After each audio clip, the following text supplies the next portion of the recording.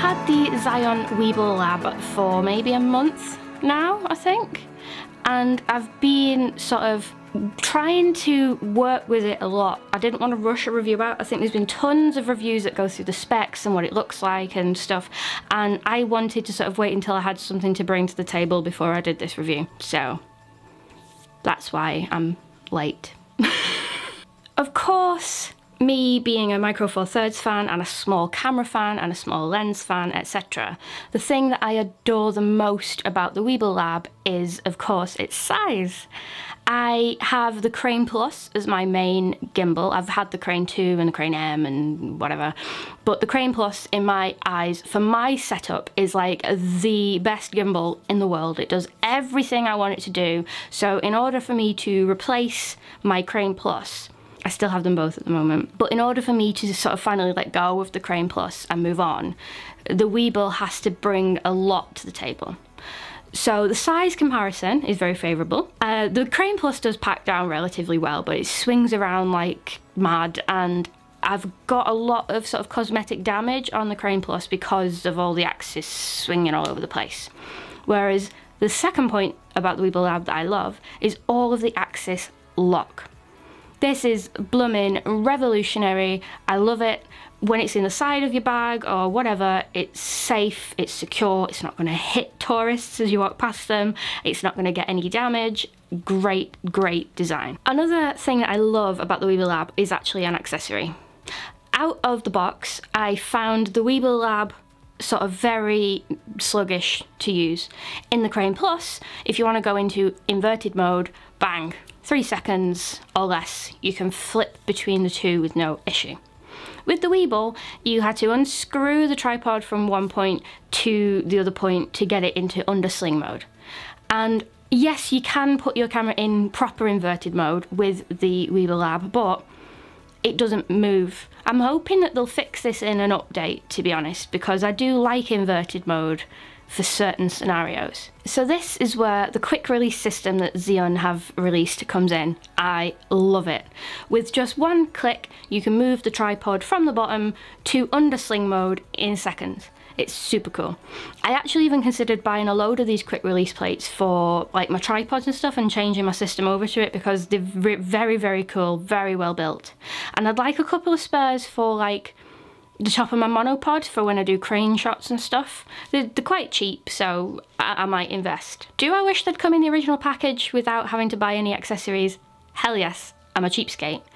But it's not that much of an expense to buy them on top. As you've probably gathered with the size, it is for smaller setups. I've seen a lot of Sony set up on it, and obviously with the GH5s and, and smaller mirrorless cameras. The motors are not as powerful to my experience, I have no science to back this up, but they don't feel as powerful or as in control as they do on the Crane Plus.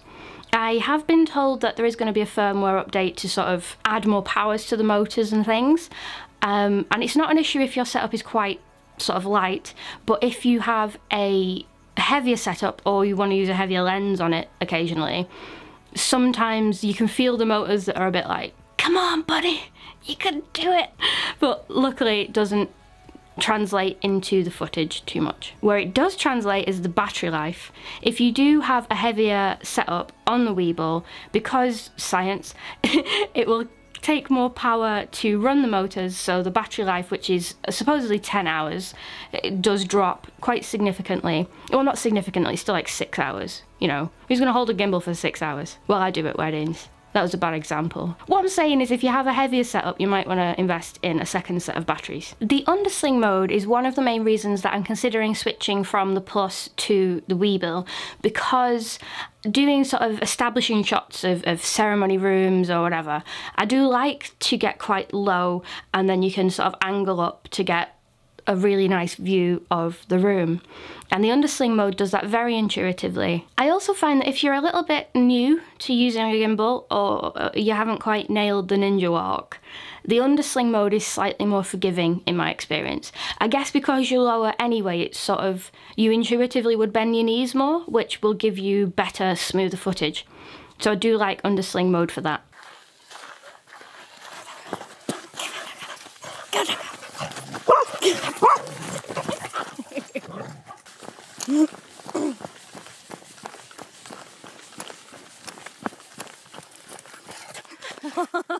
Doggos!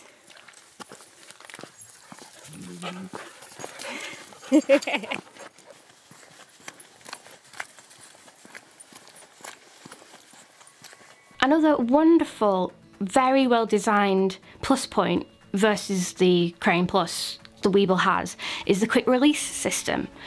I love this. You can do this on the Crane Plus by buying sort of another quick release plate and stacking them, but it's not something that it does out of the box. With the Weebill, you can just unscrew a latch, take your camera off as it stands, and instantly put it back on and you're good to go. It also works if you have the follow focus attached as well. So you can set everything up beforehand, stick it on the gimbal and you're good to go within seconds.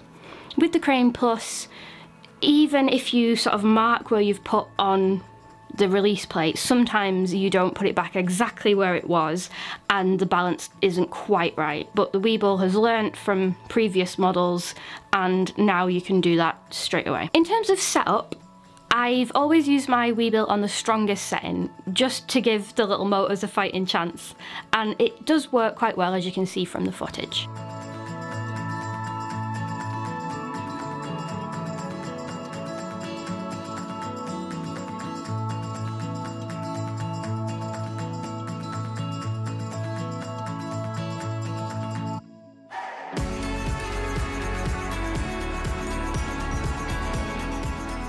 Going to sell my battered Crane Plus, my workhorse, my moneymaker, that's falling to actual bits by now.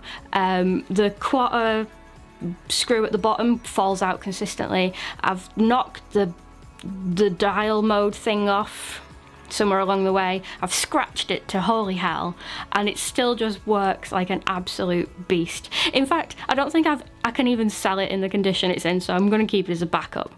But the question is, will I switch from that to the Weebill for wedding season in 2019? And I think the answer is yes. I'm probably going to get a second set of batteries just to be sure, and I'm a bit annoyed, but I can see why for the size, that the existing batteries don't work. They seem to be sort of a proprietary new shape for the Weebill. I'm going to get some new batteries. I'm going to get some more quick release plates for my monopod crane jibby shots of joy. That's what I'm calling them.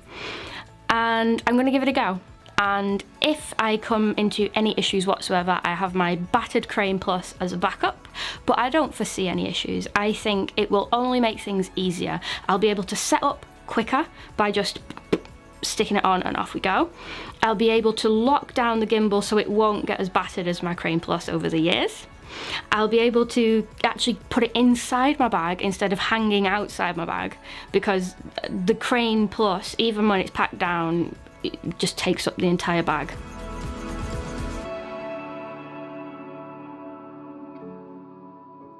While I might not use vortex mode for weddings, be quite an interesting edit.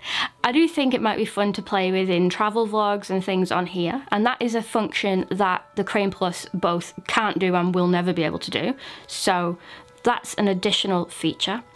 I also am quite intrigued by sort of the, it's like the phone go mode on the Smooth 4 where you push a button in and you can move the Weebill really quickly.